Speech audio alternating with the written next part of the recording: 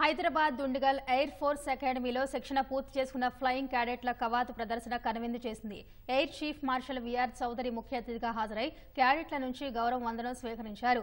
ఈ వేడుకల్లో ఫ్లైట్ క్యాడెట్లు ఇండియన్ నేవీ ఇండియన్ కోస్ట్ గార్డుల విన్యాసాలు ఆద్యంతం అలరించాయి.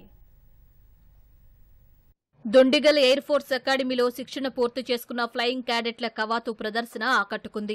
రెండు వందల ముప్పై ఐదు ఫ్లయింగ్ క్యాడెట్లు శిక్షణ పూర్తయిన తర్వాత తమ ప్రతిభా పాటవాలను ప్రదర్శించారు. రెండు వందల ముప్పై ఐదు మందిలో ఇరవై రెండు మంది మహిళా అధికారులు కాగా తొమ్మిది మంది భారత నేవీ దళానికి చెందినవారు. మరో తొమ్మిది మంది కోస్ట్ గార్డు విభాగానికి చెందినవారు ఉన్నారు. జాతీయ డిఫెన్స్ అకాడమీకి చెందినవారు ఇరవై ఐదు మంది ఉన్నారు. ఎయిర్ ఫోర్స్ అకాడమీలో వీరికి శిక్షణ ఇచ్చారు. క్యాడెట్ల కవాతు ప్రదర్శన అనంతరం వారితో అకాడమీ కమాండెంట్ ప్రమాణం చేయించారు.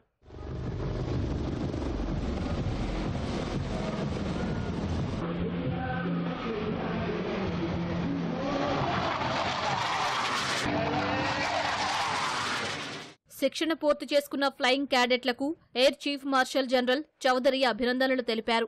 శిక్షణ పూర్తి చేసుకున్న వారు విశిష్ట స్థాయిలో దేశానికి సేవలు అందించాలని ఆయన ఆకాంక్షించారు. విధులను సమర్థవంతంగా నిర్వర్తించడానికి అకాడమీ వృత్తిపరమైన నైపుణ్యాలను అందించిందన్నారు ఆధునిక యుద్ధంలో అధునాతన సాంకేతికతను అందిపుచ్చుకోవాలని ఎయిర్ చీఫ్ మార్షల్ సూచించారు This day marks not just the culmination of your rigorous training, but also the beginning of a journey that will define your careers and shape your lives. You are now entrusted with the singular honor and responsibility of serving our great nation, and I'm sure you will do the nation proud.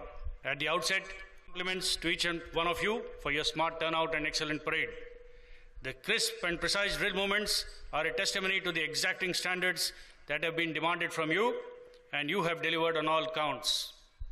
My congratulations to all those who have been awarded the President's Commission this morning, an honor which you have earned through your determination, fortitude, and focus.